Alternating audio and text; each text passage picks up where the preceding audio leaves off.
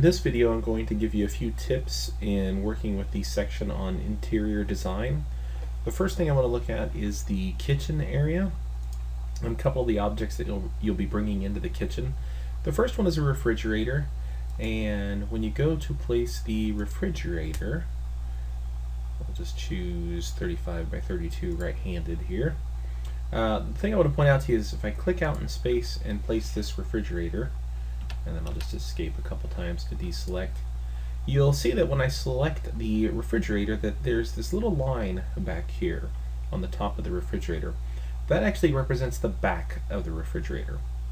So that'll help you place the refrigerator. You'll see if I do not flip this around and actually place it in here and double click on the arrow to look at the elevation, you don't see the doors, the refrigerator is backwards. So again, I'll go ahead and grab this refrigerator and you can just tap the space bar to flip it around. Really cool thing is you can see the text re-situates itself so you can read it from the bottom. And that line is to help you place your refrigerator and leave some space behind it. And the next thing I want to look at is the range hood. So the range hood's kind of difficult because when you go to place it, you can't see it. So I'll start with the 40 inch wide range hood. And you can see that as I'm moving my mouse around, I'm getting some temporary dimensions, but I can't actually see the range hood.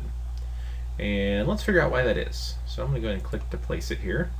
I actually get the message down here at the bottom of my screen that none of these elements are visible. So I'm going to go ahead and hit escape here a couple times and I'm going to switch to this little elevation view here. So here I can actually see this range hood. So why is it not visible? Remember the idea of view range, that in a floor plan, we come up four foot off of the level, which would be right around here, and we take a cut and we see everything below it. Now one exception to that is these upper cabinets are created in such a way that they will show hidden lines to indicate that there's cabinets above the view range. But in the case of this range hood, as you can see, not only do I need to move it down to where it needs to go, but I also need to rotate it. So my recommendation to you is go ahead and drag it down to where it's just kind of at countertop height. That way when I switch back to my elevation view, or excuse me, my floor plan view, I can actually see the range hood.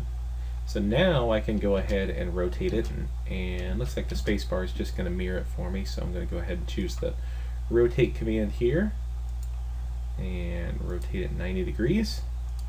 Switch back to the elevation to make sure I rotated it the right way. Looks like I did. So now before I move it up, however, back in this view, I want to actually move it in towards the wall. So now you know I've got it pushed up against the wall properly and now in this view I can select it and go ahead and drag it up and place it right underneath the cabinet. So again, when I switch back to the floor plan view, oops, I won't be able to see it anymore, but I know that it's placed properly, and if I do a 3D view in here, I know that I'll be able to see that. One of the other things that we're going to do in the interior design section is to add in some railings, and I want to show you a little tip on railings. It actually um, is mentioned in the textbook, and it really applies more towards the house you're going to do after you finish up this section.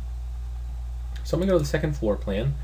And actually before I do that, let's look at this in 3D. So you might remember we cut an opening for the stairs, but we need to put in a railing around the stairs here. So when we created the stairs, rails were created automatically for us.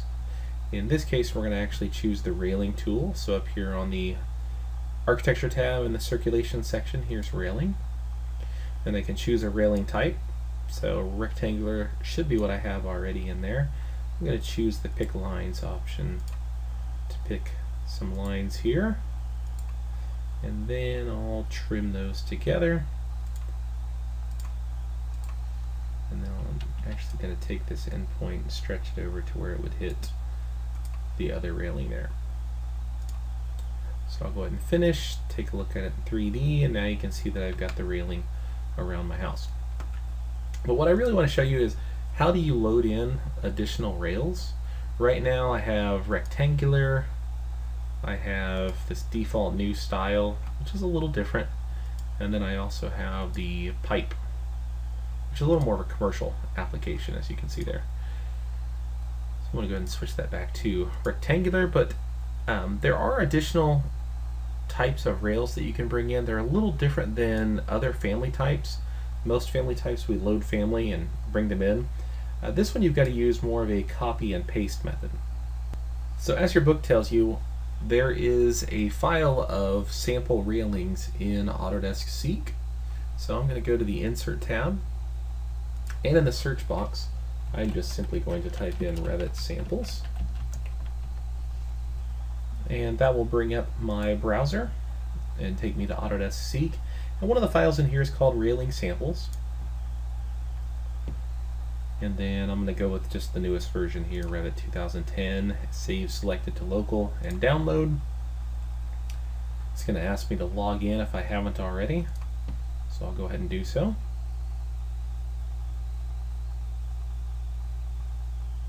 And then what's a little different than the other families, typically on the other families we downloaded them and then we loaded them into the project. This one I'm just going to go ahead and open. Of course you could go ahead and save it to your uh, class folder if you think you want to add in some more railings. I'm going to have to upgrade the model here since it's an older version so this will take a few seconds here.